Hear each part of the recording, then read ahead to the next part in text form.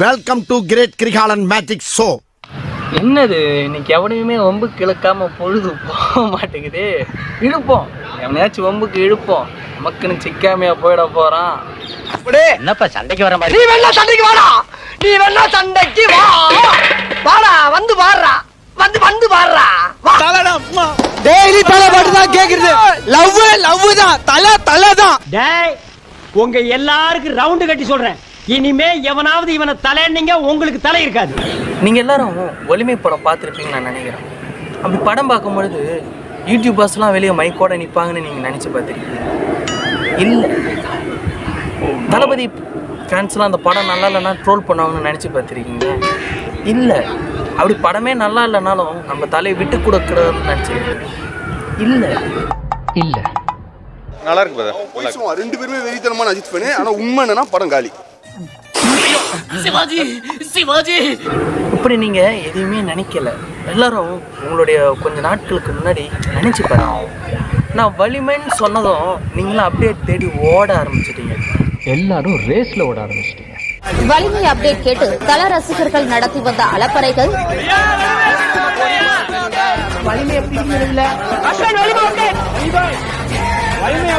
இப்படி எதை பற்றியுமே யோசிக்காமல் நீங்கள் பண்ண ஆர்ப்பாட்டம் தான் இன்னைக்கு யூடியூபர்ஸ் எல்லாம் நம்ம தலையை வச்சு செய்யறதுக்கு ஒரு காரணமாக இருக்குது கவுண்டர்ல தூக்கிட்டு இருக்கணும் சார் உயிரை எடுக்கிற உரிமை நமக்கு இல்ல சார்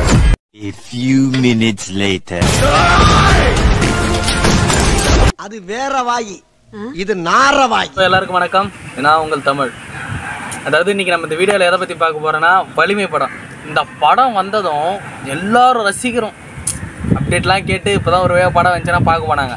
ஆனால் படம் பார்த்ததும் இந்த ட்ரோலர்ஸ் பண்ண வேலை இருக்குது பார்த்தீங்களா வச்சு செஞ்சாங்க ஸோ அவனுக்கு எப்படிலாம் இதை ட்ரோல் பண்ணானுங்க. அதை பற்றி ஒரு ட்ரோல் வீடியோவை தான் நம்ம இந்த வீடியோவில் பார்க்க போகிறோம் இப்ப மவனே எல்லாம் வழிய விடு. தலைவன் ஆண்டவே.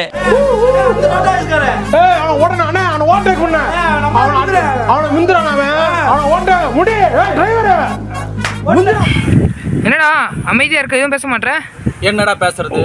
என்னத்த பேசி புடுங்க போகிறோம் அதான் மொத்தமாக அவன் ட்ரோல் பண்ணிட்டு போயிட்டானே. வலிமைன்றது அடுத்தவனை காப்பாத்ததான். அழிக்கல்ல. நீ என்னடா சொல்றது எங்களுக்கு தெரியும். நீ சூத்த மூடு. பாரு. செய்யறதையும் செஞ்சு விட்டு முடிக்கிறத பாரு. திருவிழாவுல காணாம போன புள்ள மாதிரி. என்னடா இப்படி பண்ணி வச்சிருக்கீங்க? வலிமை படம் எப்படா வரும்னு எதிர்பார்த்தன விட படம் எப்படா ஃப்ளாப் ஆகணும் எதிர்பார்த்தா அதிகமாக இருப்பான் போலயே. அட போங்கடா டே ச்சே.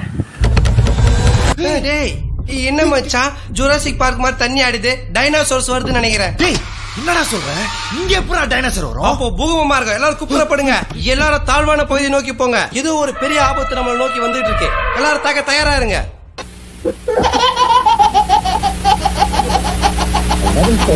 பாயிண்ட் அவுட்டும் பாயிண்ட் அவுட்டும் அப்புறம் பேசலாம். சும்மா தேடிக்கிட்டு இருந்த கேங்க எப்படியா பத்தே நாள் பிடிச்சாரு I know I know I am your best friend okay. ஓகேடா ஓகே ஓகே இப்படி பண்ணு நெக்ஸ்ட் பாயிண்ட் வரட்டுமா பேசலாம். பொறுமையா இருக்கு பாயிண்ட் உண்டு தான் வேலை உண்டுன்னு இருக்க ஒருத்தனோட சமநிலை தவறுனா அவனோட கோவம் எப்படி இருக்குன்னு காட்டுவேன்.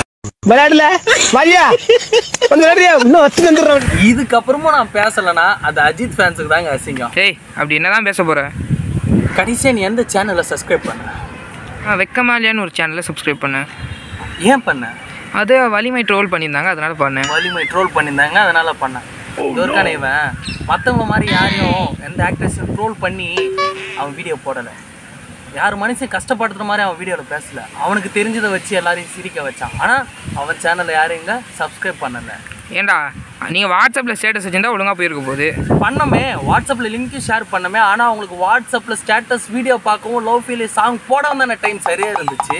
என்ன சொன்ன? சாதாரண சேனலு இந்த சாதாரண சேனல் தான்டா இஜாப் விஷுக்காக ஃபஸ்ட்டு வந்து பேசுனது. நான் ஒன்றும் உங்களை இவன் சேனலை சப்ஸ்கிரைப் பண்ணுங்கன்னு சொல்லலை.